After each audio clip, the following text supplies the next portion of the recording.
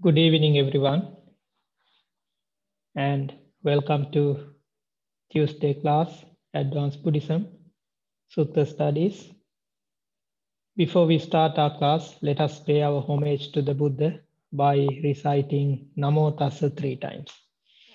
Namo Tassa Bhagavato Arahato Samma Sambuddhassa නමෝ තස් භගවතෝ අරහතෝ සම්මා සම්බුද්දස්ස. නමෝ තස් භගවතෝ අරහතෝ සම්මා සම්බුද්දස්ස. සාදු සාදු සාදු.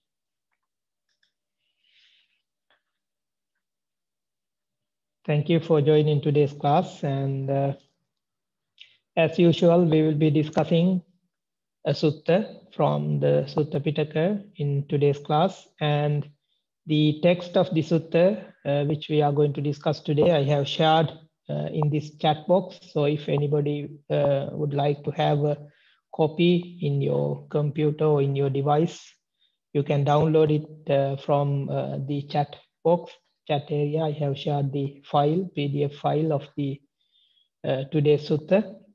Today's sutta is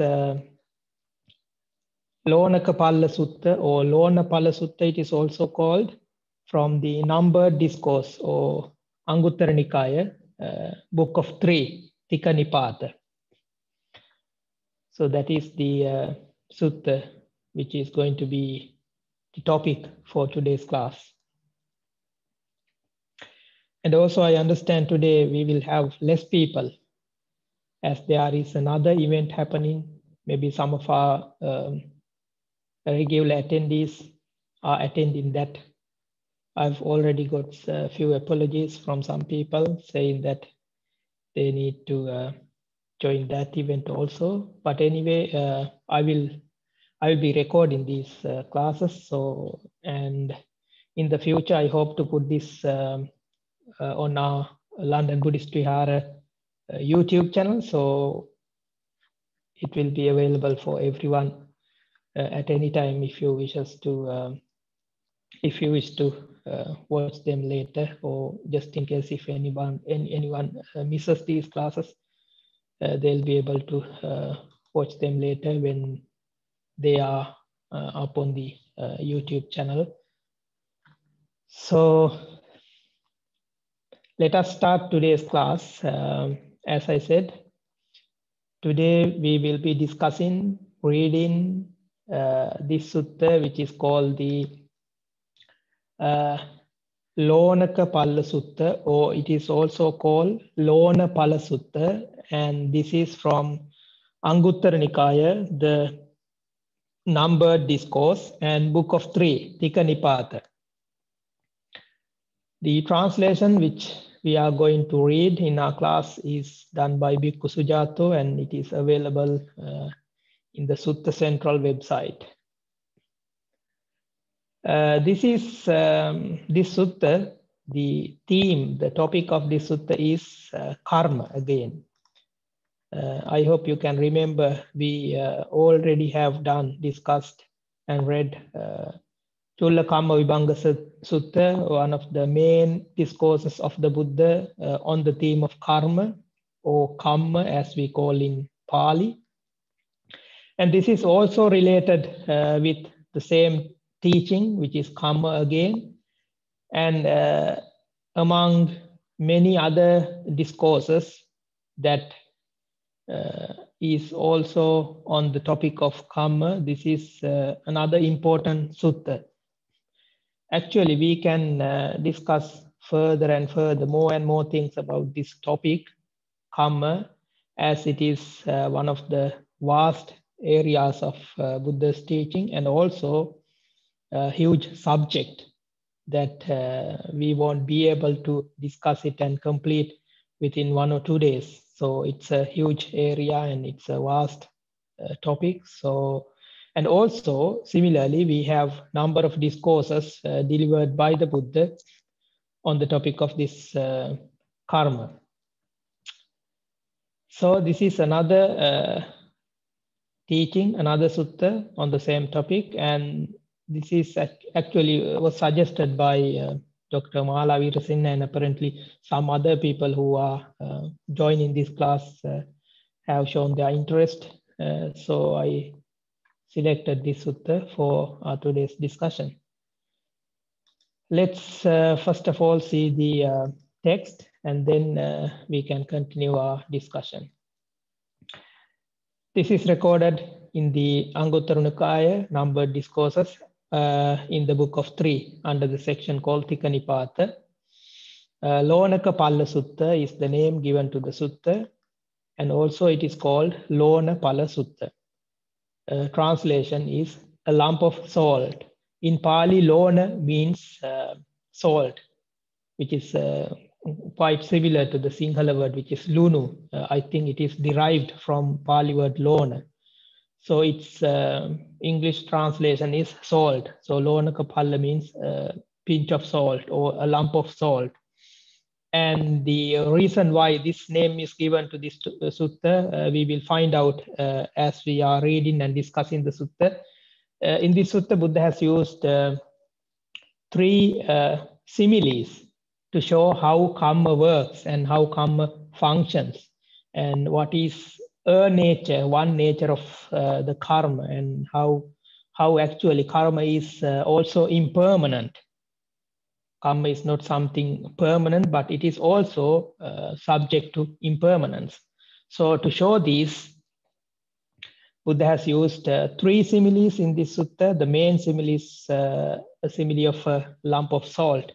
That is how this sutta uh, got its name or this title as the Lonaka Palla, or a lump of salt.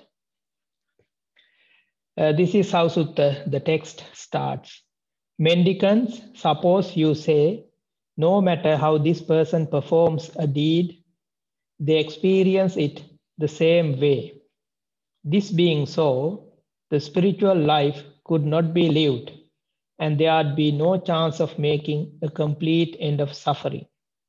Suppose you say, no matter how this person performs a deed, they experience the result as it should be experienced. This being so, the spiritual life can be lived and there is a chance of making a complete end of suffering. So this is how Sutta starts. Uh, as Buddha is addressing a group of bhikkhus, he uh, starts the sermon, the discourse addressing uh, mendicants. That is the translation or the word used by Bhikkhu Sujato in his translations. The Pali term is bhikkhus or bhikkhu. So Buddha addresses uh, a group of monks uh, saying bhikkhus, suppose you say these two statements, you uh, make these two state, uh, statements. If one says, no matter how this person performs a deed, they experience it the same way. And Buddha says, this being so, the spiritual life could not be lived, and there would be no chance of making a complete end of suffering. So, if one says, or if one is in the view that the karmas or the deeds performed by someone uh, will be experienced in the same way by the same person, so if one says this, or if one has this view, uh, Buddha says uh, there's no uh, chance of uh, ending the suffering, and there's no point of uh, living the holy life or spiritual life if it is true.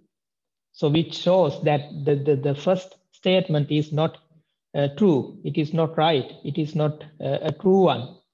And the second statement goes if one says, no matter how uh, uh, a person performs a deed, they experience the results as it should be experienced, not in the same way, but as it should be experienced in an uh, appropriate way, in a suitable way. So, this being so, uh, the spiritual life can be lived. And also, there's a chance of making a complete end of suffering too.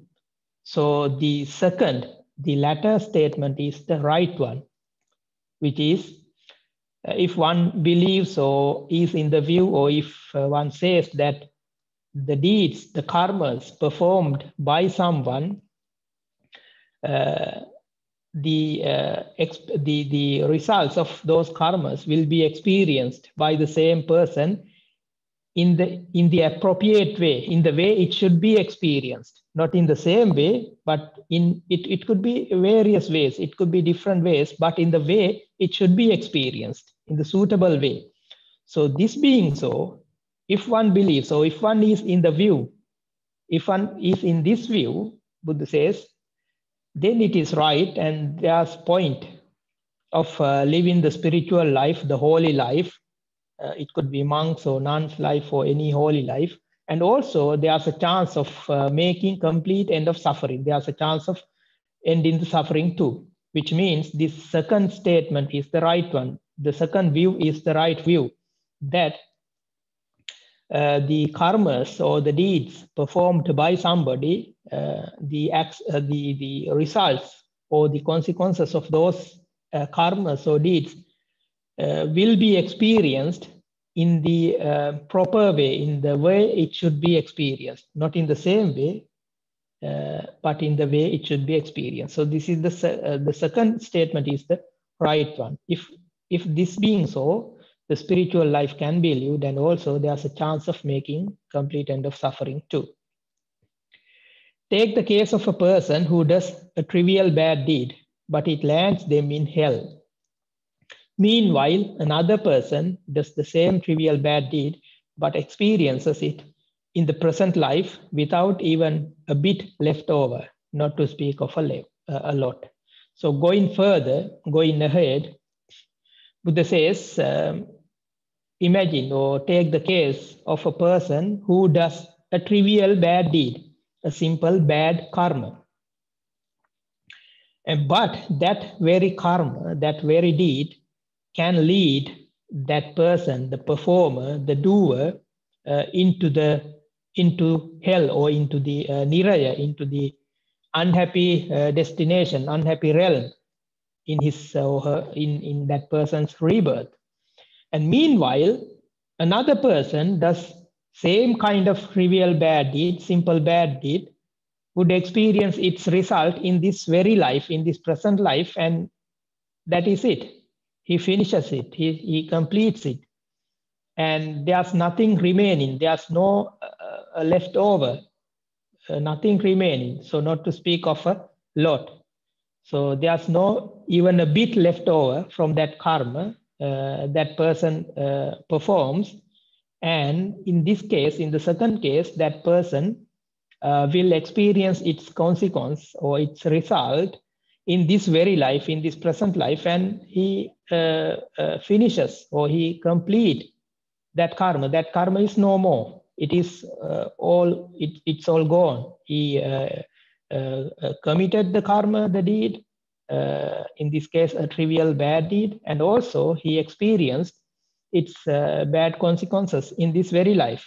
So that is it. but in the first case, in the case of the first person, who did also a similar kind of trivial bad deed, uh, could lead that person to a unhappy destination, to unhappy uh, rebirth, even in the Niraya in an uh, unhappy destination. So this is the uh, two different experiences, two different results brought by a same kind of or similar kind of trivial bad deed for two uh, different persons. So this is what Buddha is going to explain. Buddha is going to describe and teach in this sermon by using these uh, uh, similes. What kind of person does a trivial bad deed, but it lands them in hell? A person who hasn't developed their physical endurance, ethics, mind, or wisdom. They are small minded and mean spirited, living in suffering. That kind of person does a trivial bad deed, but it lands them in hell. So, um, Buddha goes on to describe what kind of uh, or what are these two kinds of uh, persons, people? One who does the trivial bad deed, and also as a result of it, who um, he's ended up in the uh, unhappy destination, unhappy realm in his rebirth, and also the kind of person who performs or who uh, does the um, similar kind of trivial bad deed, but who experiences its uh, consequences in this very life and finish off, pay off the uh, karma, and karma comes to an end. So the first kind of person who does a trivial bad deed and uh, ended up in the unhappy realm, Buddha says that person is someone who hasn't developed uh, their phys physical endurance, ethics, mind, or wisdom. And also they are small-minded and mean-spirited, also living in suffering. So that kind of person uh, would be ended up, uh, or as a result of that trivial bad deed, would go to uh, unhappy destination. So that is the first kind of uh, person who would end up uh, in bad destination as a result of uh, his trivial bad karma, trivial bad deed. What kind of person does the same trivial bad deed but experiences it in the present life without even a bit left over, nor to speak of a, let, uh, of a lot? A per excuse me. A person who has developed their physical endurance, ethics, mind, and wisdom. They are not small-minded, but are large, uh, but are big-hearted, living without limits, that kind of person does the same trivial bad deed, but experiences it in the present life without even a bit left over, not to speak of a lot. So, this is the second kind of person who does the same kind of uh, trivial bad deed, but importantly, that person experiences its consequences in this very life and finishes it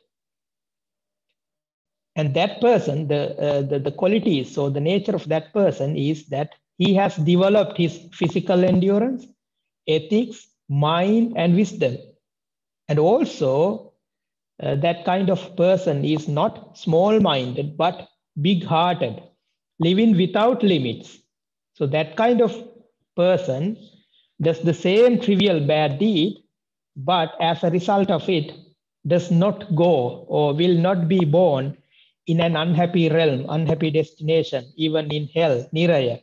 But he just finishes it in this very uh, life, in this present life. So the, that is the difference between these two uh, kinds of persons and these two kinds of, or this same uh, uh trivial bad deed bringing two results to, the, to, to these two kinds of uh, persons. So this is what Buddha is explaining more in the uh, sutta. So here we should understand a few uh, terms used by the Buddha in the, the discourse. So before we move on to the next part of the sutta, let's uh, discuss a bit more about these few terms which are being used to um, show the kind of two people here. The first kind of person, as Buddha explains here, is a person who hasn't developed their physical endurance. So this is, uh, uh, Sujato has translated this as physical endurance. This is um, development of uh, kaya or the development or the contemplation of the body, the contemplation on the body. And ethics is virtue, sila. Mind is uh, concentration and wisdom is, of course, the insight, knowledge. So the first kind of person who uh, would be ended up in the unhappy destination in his uh, rebirth as a result of his trivial bad deed is a person who hasn't developed his contemplation on body or his uh, virtues, sila, or his concentration, or also insight, knowledge, wisdom.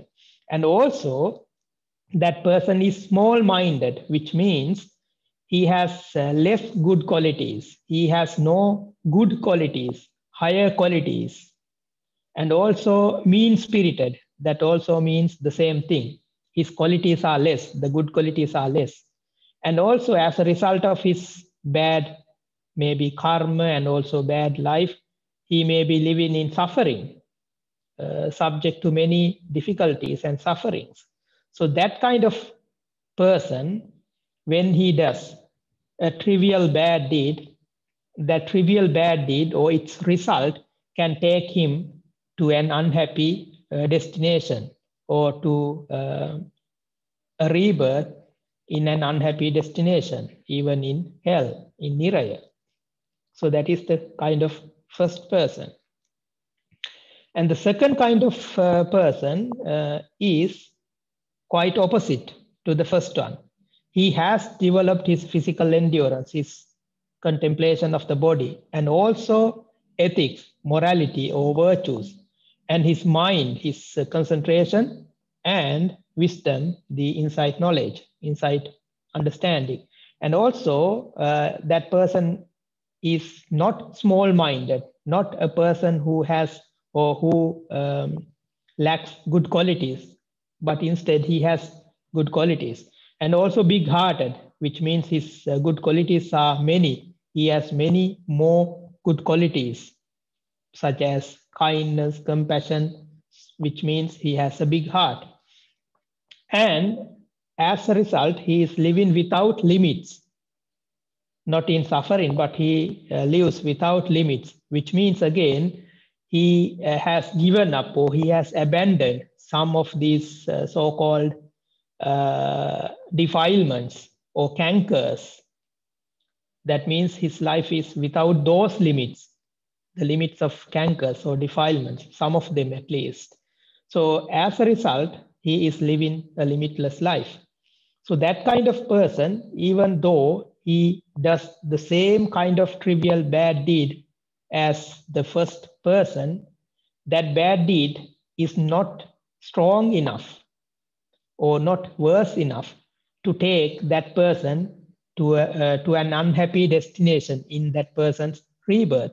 But, uh, or instead, that person will experience or will pay it off, will uh, finish that uh, consequences of this bad, trivial, trivial bad deed in this very life, and he will uh, be free from that trivial bad deed. So those are the differences. So that is the main difference between these two type of people.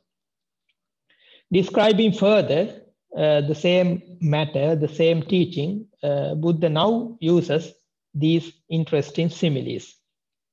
Suppose a person was to, uh, was to drop a lump of salt into a small bowl of water. What do you think, mendicants? Buddha asks a question from uh, the group of bhikkhus, uh, saying, Suppose a person was to drop a lump of salt into a small bowl of water. So, what do you think? Would that small bowl of water become salty and undrinkable? The answer is yes, sir. Why is that? Because there is only little, only a little water in the bowl. So this is the question. So Buddha asked, what do you think? If a person drops a lump of salt into a small bowl of water, what would uh, happen to this bowl of water or what would happen to the water? Would it be uh, salty and also undrinkable, not fit to drink? So the bhikkhus say, yes, sir. Why? Because uh, there's only a little water in that bowl. So that little uh, lump of salt will be strong enough, will be good enough, will be sufficient to turn that water into salty water so that uh, water becomes undrinkable or not fit to drink because of the amount of the water and also the amount of the salt.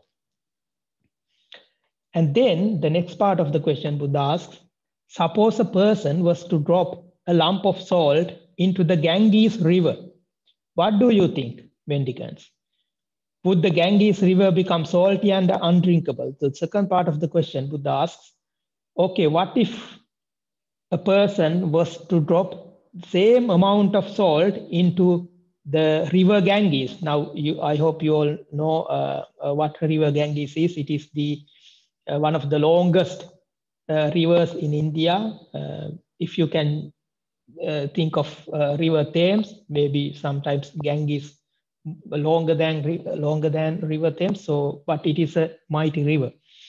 So Buddha asks, what if a person drops a same lump of salt into river Ganges, what would happen to the water uh, in the river Ganges? Would it become uh, salty and undrinkable? So the answer is no, sir. Why is that? Because the Ganges river is a vast mass of water. So the amount of uh, water and the amount of salt used in this uh, second scenario are hugely uh, different, the amount. The salt is just a lump of salt, whereas the water is a mass collection of water in the river, long, mighty river Ganges.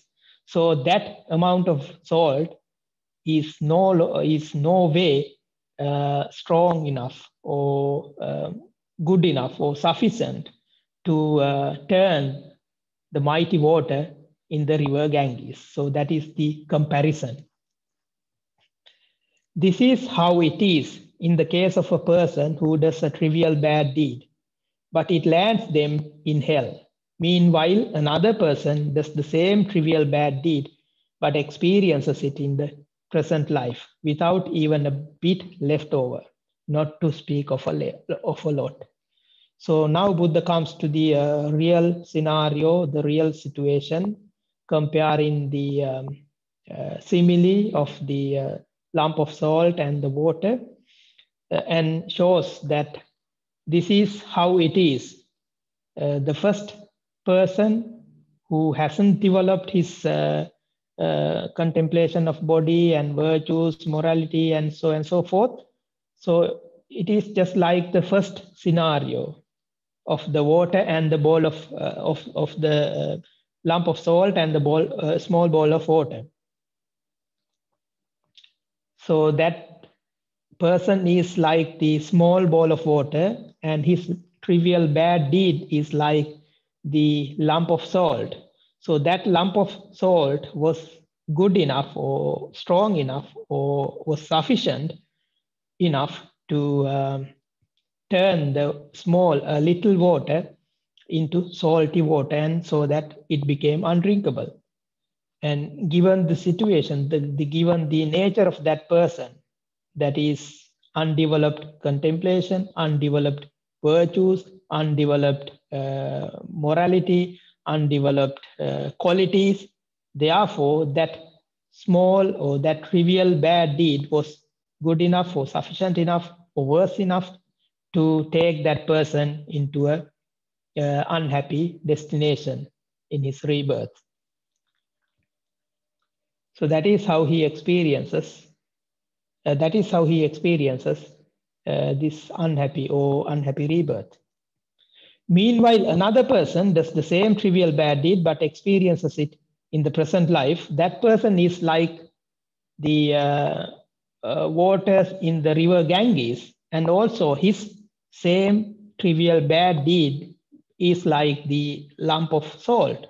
So his lump of salt or his trivial bad deed is not strong enough or it is not worse enough, or it is not sufficient to take that person into the uh, bad realm or bad destination as his other qualities, such as his uh, development of contemplation, his development of virtues, his development of um, good qualities.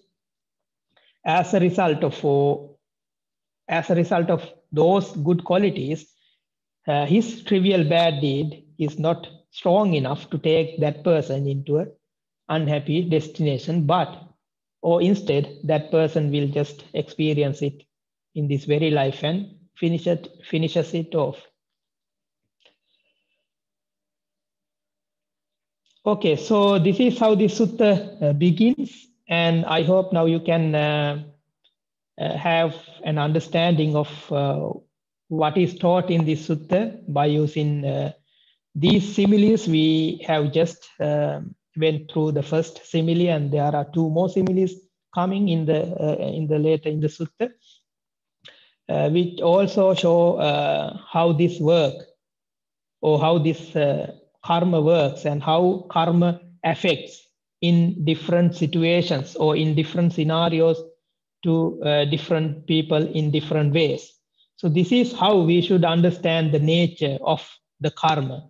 Not in the first way, if you can again think of the first, very first statement with which this sutta uh, started, that is to say that if somebody performs or does a deed or karma, that person will also experience in the same way. That is not the right uh, way to say, or that is not the right view to have.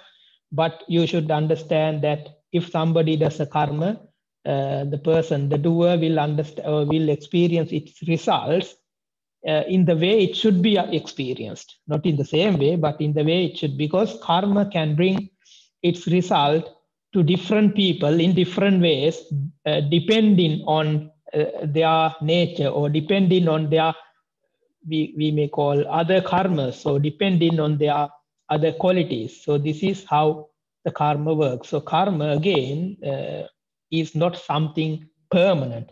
It is also subject to impermanence. And also uh, the other message is that I, I hope even from this first part of the sutta, uh, we can understand that if we sort of uh, balance good and bad deeds or good and bad karmas, so these can uh, affect the good karmas can affect bad karmas, or bad karmas can affect good karmas. So it works in both ways. So this is how uh, Buddha shows and teaches how this karma is uh, another phenomenon which is also subject to impermanence.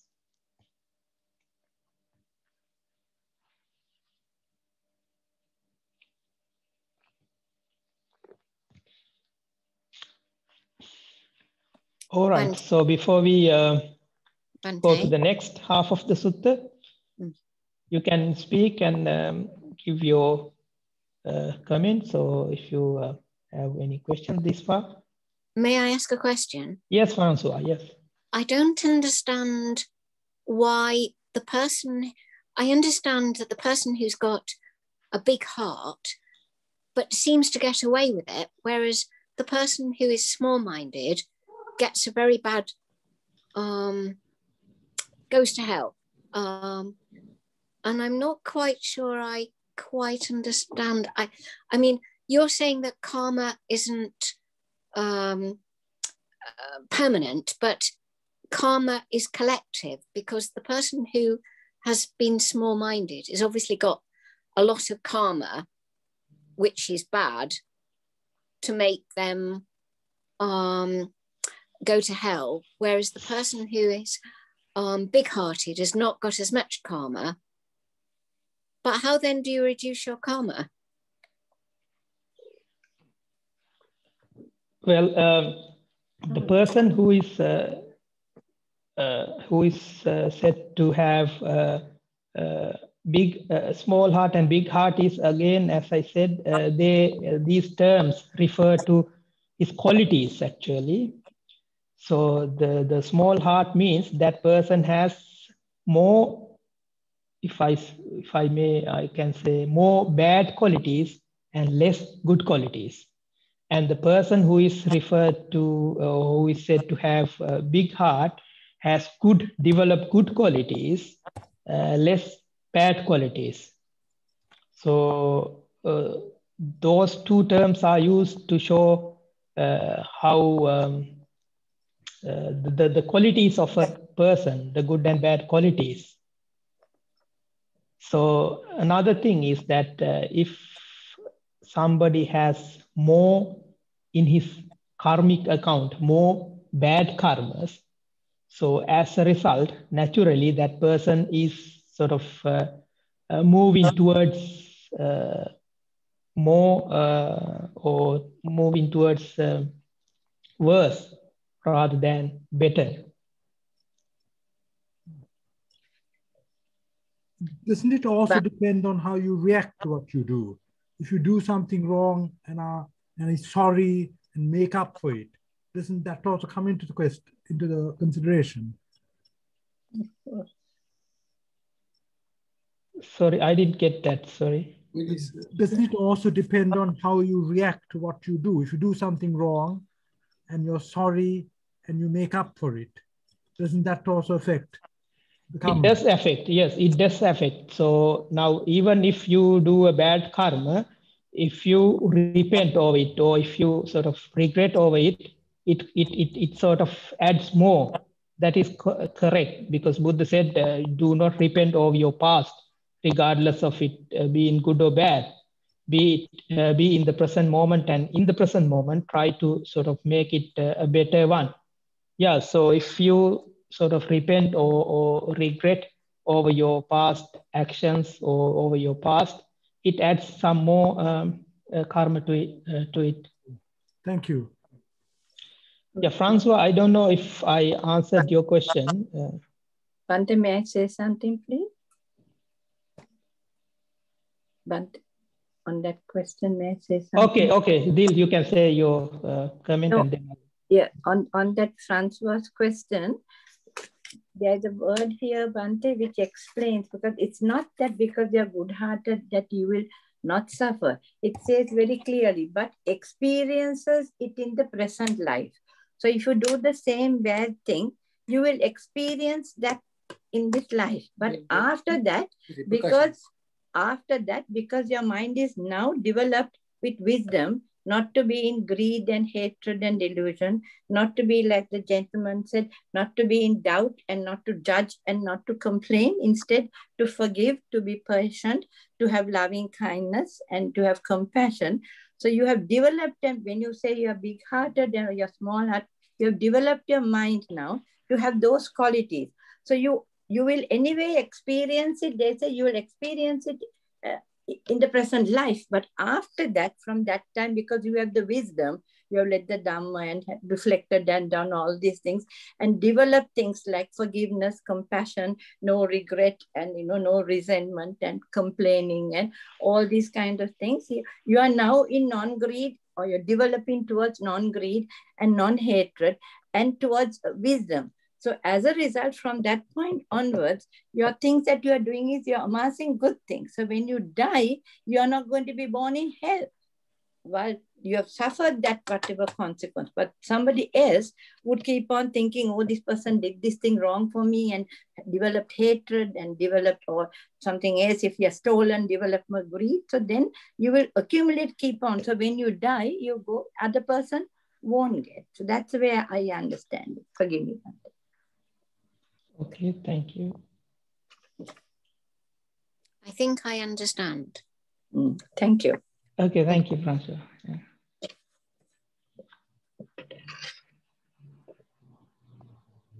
Bhante, can I add the add to what Yes, uh, please. Yes. you said? There is a there's another sutta that really complements this sutta. It's called the um, Brahma Vihara Sutta, in which the Buddha says a person who develops the Brahma Viharas of uh, and gets uh, like Cheto Vimukti, the aware, immeasurable release of the mind through developing loving kindness, compassion, the uh, altruistic joy and equanimity, their mind is like the Ganges, full of compassion, full of this thing and released. And that mind, even if uh, that person had done a, a certain bad deed in the past, that bad deed doesn't have the uh, opportunity to give uh, bad results in a person with a mind like that. Whereas in a person whose mind is full of unwholesome uh, states, even a small unwholesome deed will give a give a result. So I think I'll put the that sutta in the chat box because I think that really complements this sutta. It's Yes, yeah. Please uh, put it in the chat box so that people can refer to that as well. So I think there's, uh, I, th- I think this uh, last term, if I uh, repeat it, this uh, one who, the, the second kind of person who does not, or who uh, just experiences his trivial bad deed and finish it off in this present life, in this very life is said to be uh, living in immeasurables. So uh, I think that last term refers to this uh, to these four immeasurables, what we call these Brahma Viharas.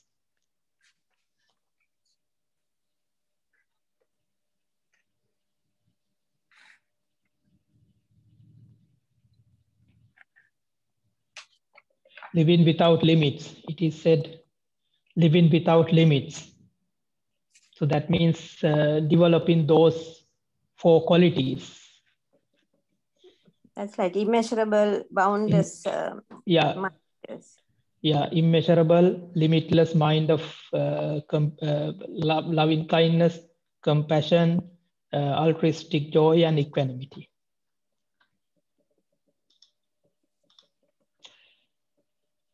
Okay, so that that uh,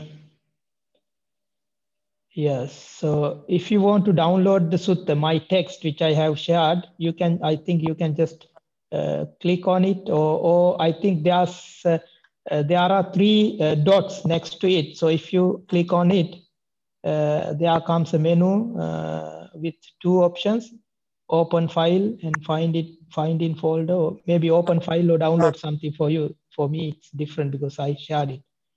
So in that way you can uh, you'll be able to download it. And also I think Dr. Sumana has just uh, shared the name of the sutta that is Brahma Vihara Sutta. That that also goes together with the, the same theme that we are talking or discussing in this sutta. Okay, so uh, Padma, uh, do you want to say something? Because uh, I see you have raised your hand. Or is it just accidental? Okay. We will come to the questions and discussions after this part. Uh, let's go to the next part in the text. Now this time Buddha uses uh, in the in the in the next uh, uh, part of the sutta, in the next half of the sutta, Buddha uses these other two similes to show it or to make the point clearer, the same point using these uh, other two similes, the same teaching that he is uh, emphasizing on. Let's go to the text again. This is how it is in the case of a person who does a trivial bad deed but it lands them in hell. Meanwhile, another person does the same trivial bad deed, but experiences it in the present life without even bit left over, not to speak of a, of a lot. Take the case of a person who is thrown in jail for stealing half a dollar, a dollar, or a hundred dollars, while another person isn't thrown in jail for stealing half a dollar, a dollar, or a hundred dollars. This is the second simile Buddha uses. What kind of person is thrown in jail for stealing half a dollar, a dollar, or a hundred dollars? A person who is poor with few possessions and little wealth. That kind of person is thrown in jail for stealing half a dollar, a dollar, or a hundred dollars. And uh, what kind of person isn't thrown in jail for stealing half a dollar, a dollar, or a hundred dollars? A person who is rich, affluent, and wealthy. That kind of person isn't thrown in jail for stealing half a dollar, a dollar, or a hundred dollars. So this is the second simile Buddha uses for the purpose of, uh, for the same purpose. This time he uses a simile of a of uh, two types of uh, persons again uh, in of a scenario of stealing maybe some money. Now here, uh, Sujato has translated using modern term of dollar. Now in the original sutta it says uh, kahapana. That that that must have been the uh, unit of uh, money or currency at the Buddha's time to give it a modern understanding. Uh, Bhikkhu Sujato has used dollars, or if you would like or prefer, uh, you may uh, think of uh, a pound or half a pound or 100 pounds or whatever uh, the way you uh, understand it. So uh, the story or the simile says that um, in the in the first scenario, a person who is uh, found to be guilty of um, stealing a little money or more money uh, would be thrown in jail and that person uh, is a person who is poor with few possessions and little wealth. That means he is weak in many areas. He is weak in, in terms of uh, his uh, wealth, his possessions, and also must be a person who is uh, weak in the society, uh, a poor person. So that person is easily caught uh, in the law and also uh, will be thrown in jail for stealing this uh, money or it, it, it could be little or big money. And in the second scenario, a person who does the same uh, wrongdoing, again, stealing uh, a, a, little money or more money, uh, is not thrown in the jail. And that person is rich, affluent, and also wealthy. So that person is not easy to uh, be caught and thrown in the jail for doing the same wrongdoing as of the um, first person. So this is the difference. And this this this is this is just only a uh, only an only a simile, a scenario and well we don't know whether in reality also this happens today this this might have happened at the buddha's time must be happening even today uh, uh, in societies but this is how uh, it affects the wrongdoing the same wrongdoing affects in two different ways to do to two different um, people two different person one person is weak is poor he has uh, no wealth, he has no power whatsoever, he has no possessions.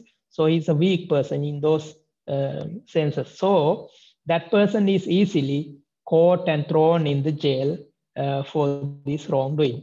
And when the same wrongdoing is done, committed by a person who is powerful in many areas, affluent, wealthy, has more powers, maybe has uh, uh, many other uh, uh, advantages uh, and that person is not um, found guilty or thrown in jail for the same wrongdoing. So that's the difference. So that is how the same wrongdoing affects differently uh, based or depending on uh, the situation or the nature or the, the, the powers and the wealth of the person who does the same wrongdoing. So Buddha says, uh, having shown or having uh, related or used this simile, uh, Buddha says again, this is how it is in the case of a person who does a trivial bad deed, but they go to hell. Meanwhile, another person does the same trivial bad deed, but experiences it in the present life without even a bit left over, not to speak of a lot. So this is how it affects now, uh, this this scenario, this simile might not, you know, uh, it doesn't seem uh, right uh, in the context of maybe law or in the uh, law and order or whatever. But in reality, this is how it affects. So Buddha says, similarly, the karma also works in different ways for different people, depending on their other things, such as the natures and qualities and uh, developments, so and so forth. So in the first um, scenario, the same uh, bad deed affected weak person uh, in a worse way, whereas the same bad deed affected uh, uh, in a very simple way for the second person, depending on his situation or uh, his powers and other qualities. So karma also works in the same way. The same thing is said again or emphasized by using this second kind of uh, simile. This is how it is in the case of a person who does a trivial bad deed, but they go to hell. Meanwhile, another person does the same trivial bad deed, but experiences it in the present life without even bit left over. And then Buddha uses the third simile to show the point more clearly, to make it clearer uh, for the um, audience or for the for the bhikkhus. It's like a sheep dealer or butcher. They can execute, jail, fine, or otherwise punish one person who steals from them, but not another. Now, this time he uses a simile or a scenario of a, a sheep dealer or a farmer or a butcher who can execute, jail, fine, or otherwise punish a person who steals a sheep or uh, something from them, but not another, not all of them, but some. So, what kind of person they can punish? A person who is poor with few possessions and little wealth. That is the kind of person they can punish. So, a sheep dealer or a butcher can punish or jail or fine or catch and hand over the person to authorities uh, for stealing. And what kind of person can be um, um, fined and punished? A person who is again poor uh, with less powers and with few possessions and little wealth. A person who is weak in many areas. So that kind of a person can be easily caught and punished and fined and found guilty for uh, stealing from a sheep dealer or a butcher.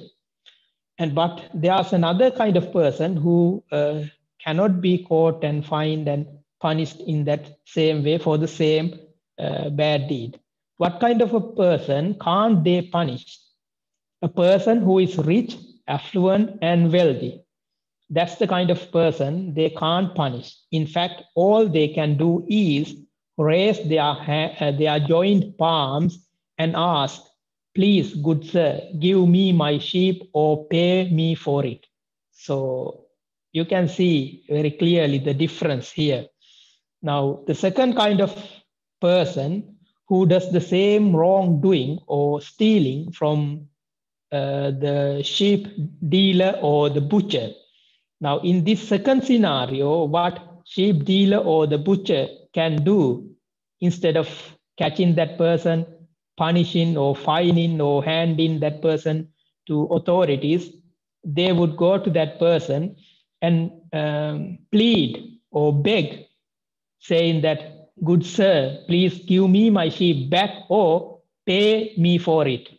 So that is how uh, differently they work for the same uh, kind of uh, for the same wrongdoing depending on the situation or the, the nature of the person who does the same wrongdoing. This time the person is powerful wealthy richer has more powers uh, maybe uh, uh, respected or powerful person with many powers.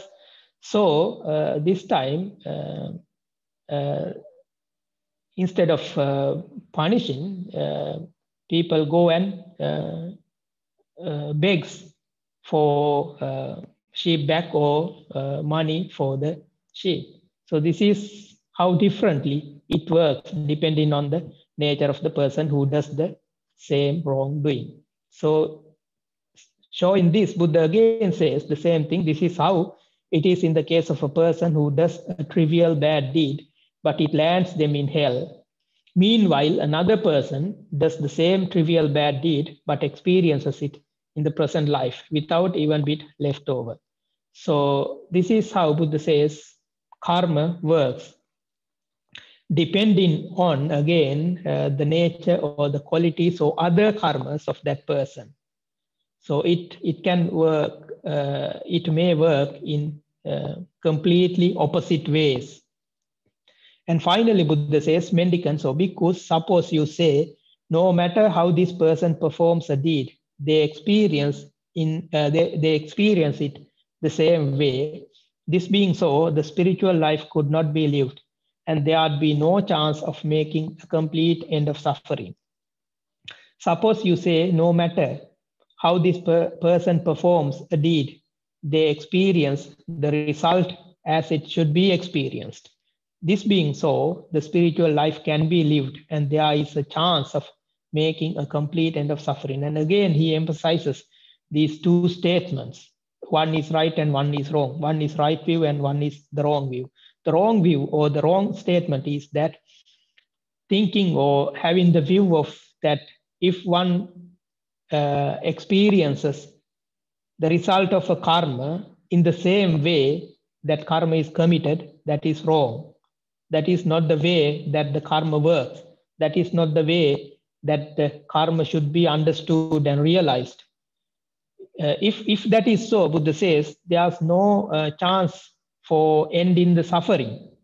Because if karma is something permanent, something not changing, something not uh, impermanent, there's no point of living the holy life. Even if you live the holy life, you can't change or you can't uh, end your karma. Karma has the prominence, karma has uh, the dominating power. So karma will ultimately, or fate or karma, or whatever you may call it, will ultimately uh, decide uh, what, what, what, what happens in your life. So there's no point of living the holy life, and there will be no chance of uh, ending the suffering if that is so. Therefore, Buddha says, no, that is not right. The right thing or the right view, uh, the right way in which you should, you should understand uh, the nature of the karma is that the karma which is performed or committed by somebody uh, will bring its result in the way it should be, in the way uh, which is appropriate, in the way that uh, is suitable, not in the same way, not in a, not in a way that is unchanged or unchangeable or impermanent, but in an impermanent way, but in a suitable way or appropriate way. So this is how you should understand and realize and learn uh, the karma. And if that is so, there's a point of living the spiritual life and also there's a chance of making uh, the end of the suffering or completing the end of suffer suffering because karma is also subject to impermanence and also it can be changed or it can be um, influenced or you you have the authority. Therefore you have the chance to end your suffering uh, by changing the kar karma as well. So karma has no dominating power. Karma cannot uh, sort of uh, decide what happens to you what happens in your life. So you can decide it. So karma is also subject to impermanence so even though karma can bring its uh, bad consequences ultimately you have the power of changing it or deciding your way in which you uh, want to go. So this is finally Buddha um, uh, shows uh, the, the nature of the karma by using these three similes, the simile of the lump of salt and also the simile of the um, um, stealing and uh, putting somebody in the jail. And then finally, the third simile, the simile of a uh, person um, who is again stealing uh, from somebody and ended up being jailed and also ended up being uh, request, requested or begged by the owner. So by using these three similes, Buddha shows these two statements and the different the difference of uh, the, the, the difference of uh, these two statements and also very importantly, the way in which the karma should be realized and understood. And it means uh, that karma is also subject to change or subject to uh, impermanence. And also, karma can be changed by other karmas. So, in if it is so, Buddha says, uh, you have a chance, or there is a chance of ending the suffering by ending the karma as well. So this is uh, what is taught in the um, Lonakapalla Sutta or the simile of the lump of salt uh, by the Buddha.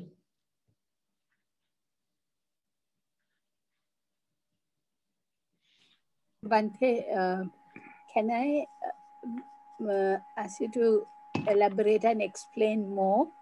Yes. Uh, living without limits.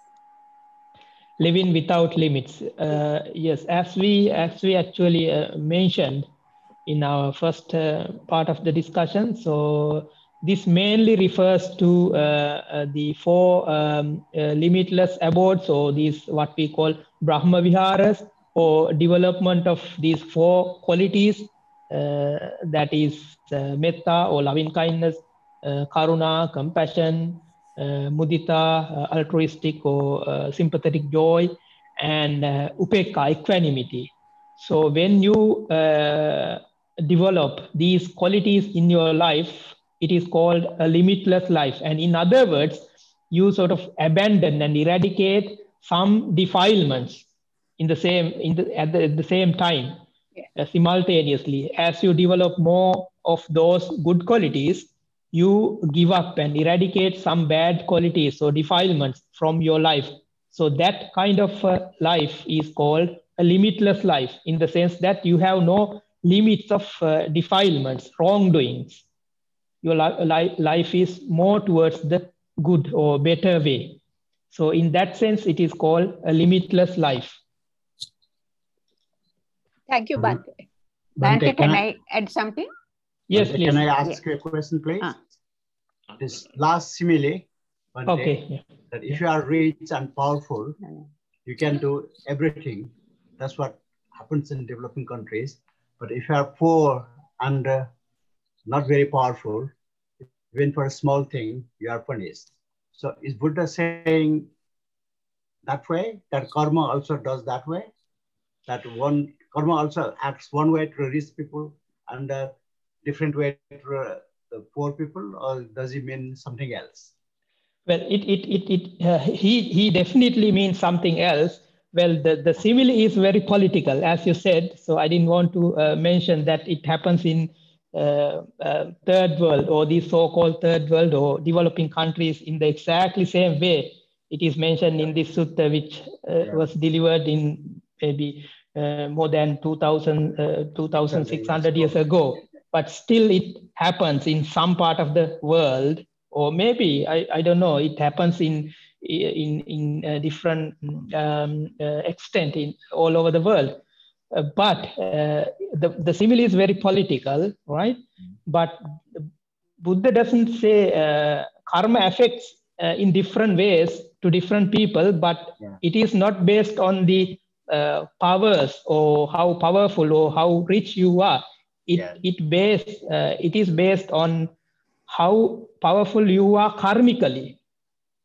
Not not not uh, not in terms of uh, uh, wealth Physical or your or- richness or your links or how you are politically powerful. Not those things are regarded. Karma does not base on those things but karma based uh, on your other karmas. So if you are karmically rich Is it a if you are spiritual way? karmically more powerful Yeah. then the the less power the, the less powerful karmas even it uh, be it bad or good now this happens in both ways actually now in this sutta buddha talks about uh, a person doing a trivial bad deed and having its consequences uh, for uh, one person in one way and the other person in another way so it works in the other way as well suppose that if you do a, um simple good deed Mm. for the person who is uh, karmically again powerful, that simple good deed can bring more results. Whereas for the person who has more bad karmas in his karmic account, that simple, same simple uh, good deed cannot give uh, good results. So here, Buddha does not say um, for rich and poor karma works differently, but for people who have other good and bad karmas, karma uh, reacts differently. Yeah. Okay. No, that's true. That's what. That's the impression it gives. Mhm. Thank you, Bhante. Can I say something, Bhante? Yes, please. Yeah. Um, I read in another book about karma. It says uh, karma always waits for the best moment to ripen. And uh, it says it's like a seed. For a seed to grow, it needs good soil, sunlight, water, and everything. But if the seed is just left without any nurturing, no sunlight. Hmm. Sorry. Yeah. it- yeah, if there's no sunlight and if you if it's just left on the windowsill, the seed won't grow and it will perish. And uh, just like that, if a if a good man say he kills a mosquito, and then he gets on with his life, he does a lot of good deeds and um, dana, sila everything, and that seed is not nurtured. That seed will perish and die away. But if it's a bad man who kills a mosquito, the same sin. Um, at the same time, the bad man is doing other bad deeds like uh, killing other animals and stealing. So he's adding, like uh, how you add sunlight, how you add water and soil to this karmic seed, and that will ripen together with uh, his other karmic effects. That's what I heard. That's what Yeah, I that- read in the book. Yes, that that's that's correct as well. So uh, yeah, that is that is uh, that is more explanation uh, for the same teaching which is uh, taught in this sutta. So in other words, this sutta tells the same thing.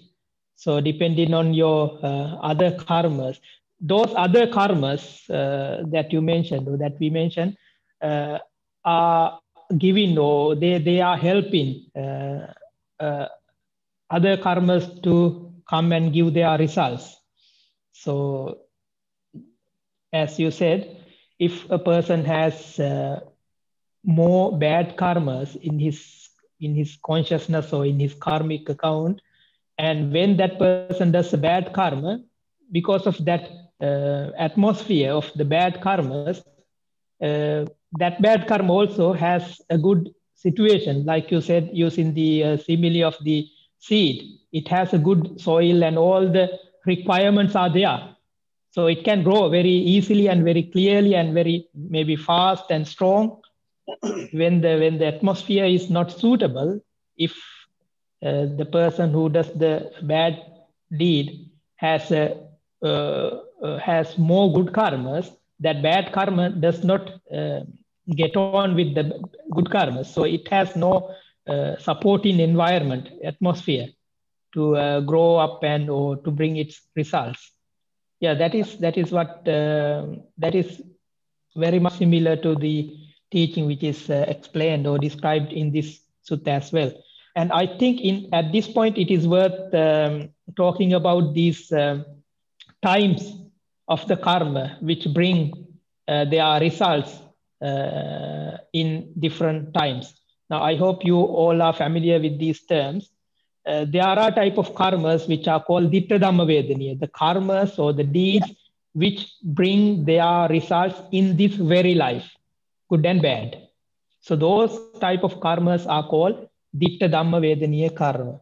Let me try to uh, write down those uh, words for you. So those are called uh, ditta dhamma vedaniya.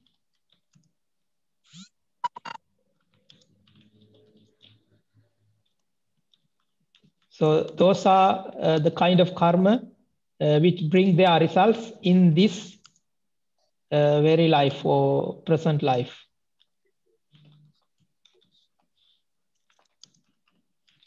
So there's a type of karma according to the time they bring their results. The first type is called Ditta Dhamma Vedaniya, the karmas which bring their results. Now this can be both good and bad in this very life. So they don't uh, wait for a long period because given the nature of these karmas, good and bad, they find uh, uh, the uh, uh, the environment in this very life because they are uh, powerful sometimes. And also uh, talking about uh, talking according to the abhidharma there are other reasons. Maybe we can discuss further. And the second type of karma are called uh, uh, upapajja vedaniya upapajja karma. That means the type of karma bring their results in the second life not this very life, but immediate next, in the second life. We call it or in the next life. So given the nature of those karmas, they can't, uh, they, they need more time. They need more time to be, bring their results. So they will have to wait uh, till the next life comes. So they need more time. That is, and the third is called uh, aparapariya. Aparapariya vedaniya karma. That means the type of karmas bring their results uh, from or, or, or in the third in the third life. In the third life. So they need more time than the second type. So they will wait they will have to wait for two more births. So they will bring their results in the third time. And there is a type of karma ahosi. And these are the type of karma uh, bring no result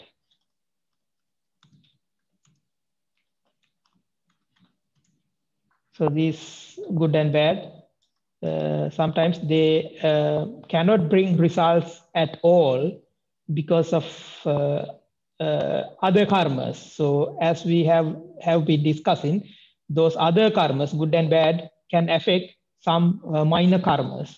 So good and bad minor karmas might sometimes uh, will not or might not bring their results as a result of other good and bad karmas because of the influence of other karmas. So this is how karma uh, bring their results. Some karmas can and will and may bring their results in this very life. And there are, there are type of karmas which are in this first category. Uh, in this first category, uh, if they don't uh, bring their results in this very life, in the present life, they might go to the fourth type, ahosi, because they can't wait more time. They can't wait till the second or the third life. If they if, if they uh, don't find a situation to bring their results in this very life, given the nature of those karmas, they can't wait. So they will become ahosi, no results.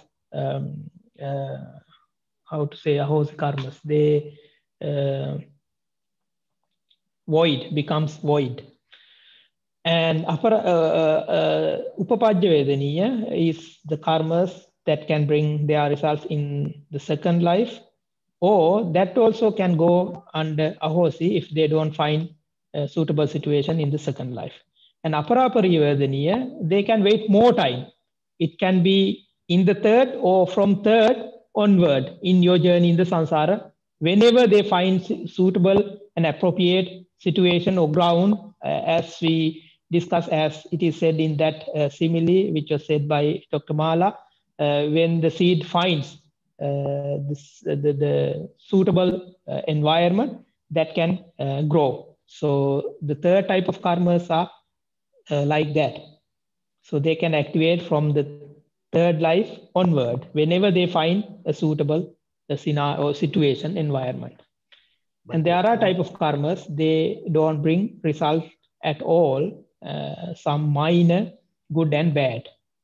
That is due to other karmas, the influence uh, of the other karmas.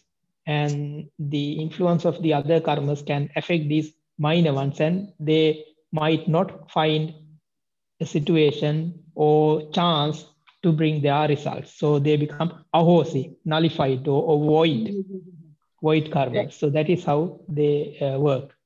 Bhante, can Bhante? I ask you a question, please, Bhante? Yeah, can I also I want to ask question?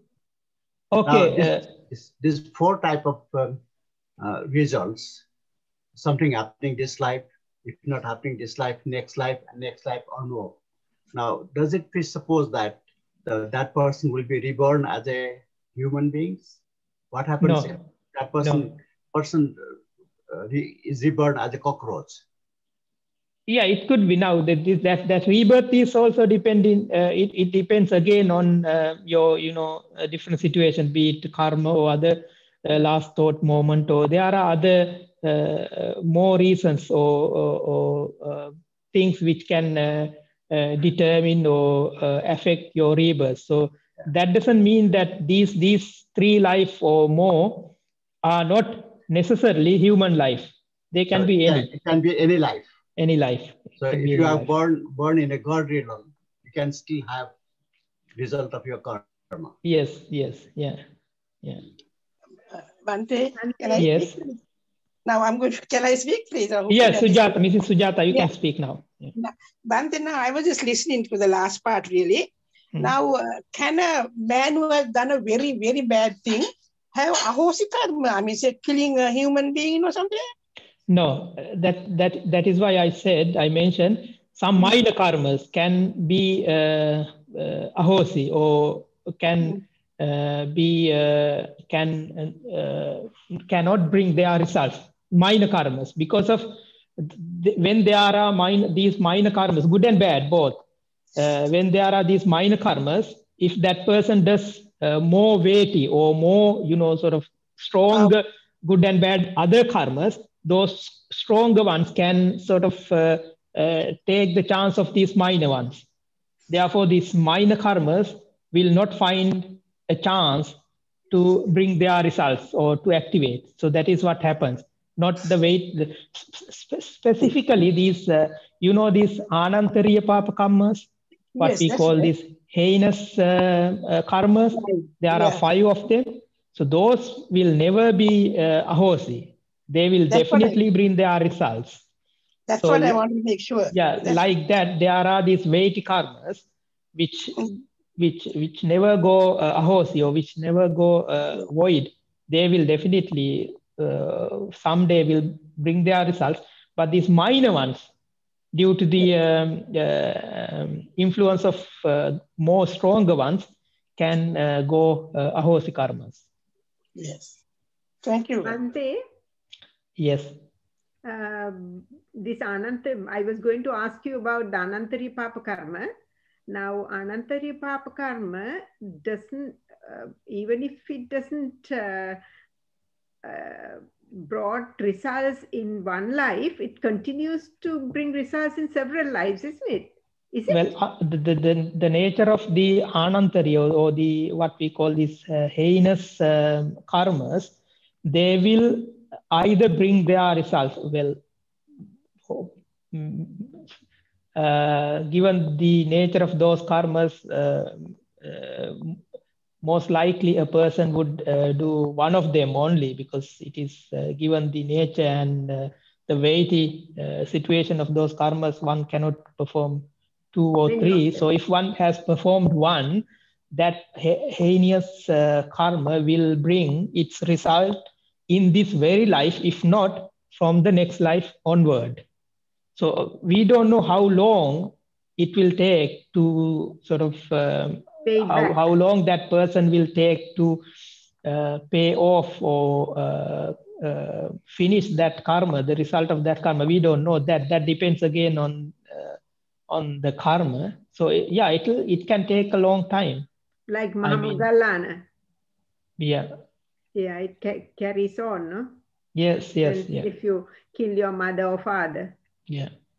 Right. Thank you, Bhante.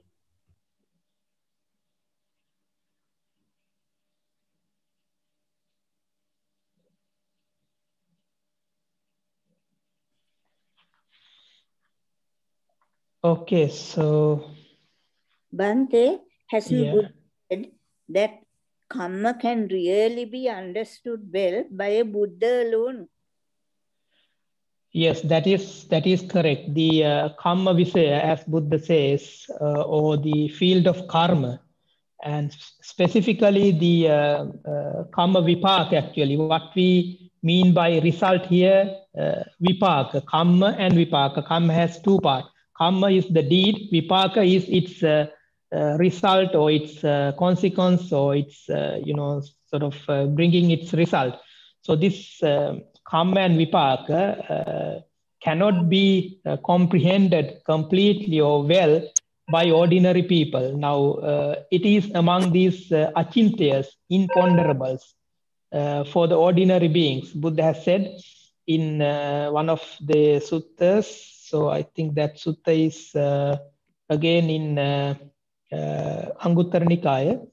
So it is one of these imponderables for uh, ordinary people. Yeah, I can give you the uh, sutta. This is called uh, Achinta Sutta in Anguttara Nikaya section 4. So there are four things uh, which can which cannot be uh, pondered or realized completely well by ordinary people. One of them is the karma visaya or the results of the karma. So even though we talk more and more and more about this result of a karma, we as ordinary beings cannot uh, comprehend completely and fully about the nature and how they bring their results and which karma bring which result and things like that. We can have a general and some understanding, but not to the uh, fullest um, uh, sense. Thank you, Bhante.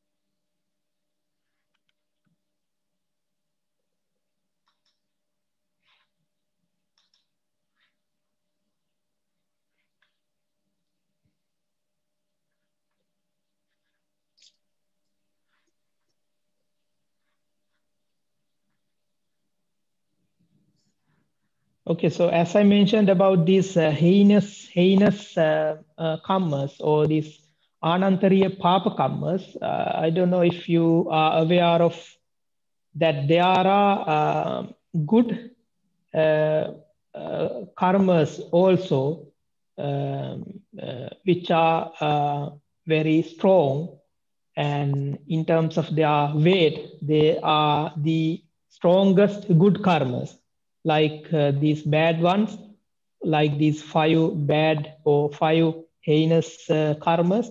There are good ones too, which are stronger than others. They are the uh, jhanas, attaining the jhanas. So if you attain a jhana, it is regarded as a weighty good karma, not weighty bad karma, but weighty good karma. So they are most or they are stronger than other karmas attain in the jhanas. So they are called garuka kammas or veti karmas. So the bad garuka kammas or bad veti karmas are those five heinous uh, deeds which are uh, killing ma- uh, mother, killing father, and injuring the Buddha, and killing or assassinating uh, an arahant, and uh, creating schism in the sangha. So those are the bad uh, veti karmas, whereas the good veti karmas are attaining of attainment of jhanas. So if one attains jhana, it's a very good karma which uh, can take predominance over other good karmas. Bhante, another question. May I ask you, please? Yes. That time, uh, you know, uh, I've been asking this question from many people so at sermons. This birth, the karma goes from birth to birth, doesn't it? Right. Now, I'm not the person who be born again. I'm a different person. How does it come on to me? I'm not my name there. So, I mean, it goes from birth to birth. Same karma carries. So, I just don't get the logic of it, really. Yeah, that is uh, that is natural and uh, uh, it is fair to think in that way because it is very, you know, sort of uh, very complicated and complex and confusing thing. So it sometimes it sometimes seems to be contradicting this another teaching. Yes, that's it. Another teaching of the Buddha. So yeah, it, it might be very difficult to understand. Uh, well, I don't know if I can explain or give you a satisfying answer to this question, but the way I understand is that, well, even if you are not the same person, you are a production or projection of the person that you are now. That that doesn't mean that when we have a rebirth that doesn't mean that we are completely completely a different person so, so that we don't have any connection whatsoever at all with this life. No we have some connection. So we, that, that, that connection is uh, created by our consciousness or these, what we call karmas. Now, if you can think of, uh, now there's this nice simile used in Milinda Panya, the questions of King Milinda, uh, and the Venerable Nagasena answering his, uh, his questions. When King Milinda asked the same question, he, uh, Venerable Nagasena used this nice simile to uh, give him a satisfying answer. So he said, Venerable Nagasena said, uh, uh, O Lord or King, think of a pot of milk. Now you have a pot of milk in front of you. So now you can drink it. It is, it is liquid, it is milk. Now the same pot of milk, if you put under a different process, you boil it or you do whatever it requires, and then you make sort of a butter from that same pot. Now, can you call that butter uh, milk? No. And can you not call uh, or, or uh, uh, can you call that butter completely a different thing? That is also no, because that butter is made of milk, but it is not a milk any long anymore. It cannot be uh, uh, drunk. So that is how this rebirth uh, link happens. So you are neither a completely a different person nor uh, the same person, but you are a projection of your what you were in your previous life. So that connection is created or linked uh, uh, by your consciousness. Now, in your consciousness, you have this account of karma because karma is uh, the, the, the definition, the interpretation of the Buddha is Chetanaham bhikkhave kammam vadami. Karma is nothing but your consciousness, your chetana, your intention. So whenever you perform or commit a karma, that karma or that deed, that action is uh, uh, driven by your intention. When you have an intention, that in, intention is in your consciousness, whether you are aware of it or not, that is in your consciousness. That consciousness we carry from life to life. So, as we have uh, discussed, when that karmic consciousness that we created finds uh, suitable environment, that will come back. That is how karma reacts. So, karma bring uh, karma brings its results. So this this this is very complicated and complex thing to understand. Can I say something? Bhante, Yes. Yeah. can it be the karmic energy which goes from life to life because it's not a thought process because I- i read when somebody goes into nirodha samapatti the thought process stops. But it's a karmic energy which sustains life. It Yeah. continues. It sustains life. Just like that it's, uh, the karma doesn't go, go in the thought process because you get a patisandhi uh, chuti and then the patisandhi which is a new one. But there's a karmic energy which goes from life to life. Can it be that Yeah, yeah, yeah. You can, yes, you can uh, interpret it in that way as well. Yeah, as karmic energy. May I say something, Bhante? Yes, Francois. My my Buddhist teacher used to say, my old Buddhist teacher, that um, people like ourselves, people who are on the spiritual path, when they die, like you said, the consciousness um, is will will look for a suitable um, parentage to put that person in that that gives that person the chance to um, have have it might mean that they have suffering it might have happiness but it gives them that that opportunity for their karma to have the conditions so that their life will bring about the karma that they needed to reenact um, so it may be that they have some suffering it may have more happiness but it there, there, there will be a suitable waiting for that person to find the right place in the world, the right parents, so that their their conscious, their karma has the right conditions to help them on their spiritual path. Does that sound right? Yeah, it does. Yes, yeah. In that way, also you can um, understand and ex- explain how karma works and reacts. Hmm. Thank you.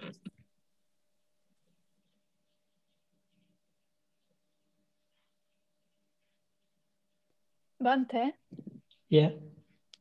um, can I just say one more thing on the topic of rebirth? Um, I actually uh, I'm not really sure where this simile comes from. I know that I've heard it from uh, Bhikkhu Bodhi, and I've tried looking it up just now, but um, I can't find if it's in any of the suttas.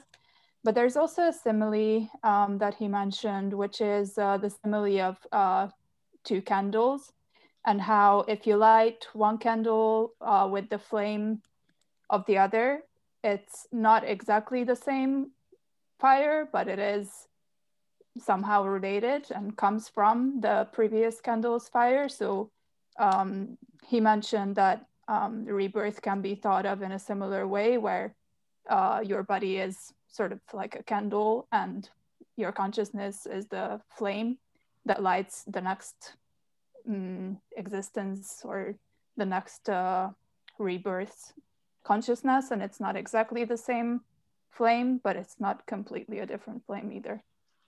I'm not sure where it comes from though, but I Yeah, found that helpful in explaining. Yeah, it is A little helpful. bit Yes, better. yeah, yeah, yeah.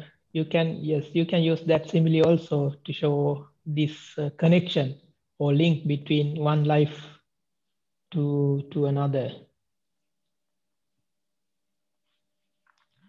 It is a nice simile. Okay, so I think uh, if we don't have uh, more questions, uh, we can end uh, today's discussion now. Uh, so thank you very much again Thank you very much, Bhante. for joining this uh, Sutta class and also contributing and asking questions and giving your comments. So let us meet again with another Sutta next week at the same time.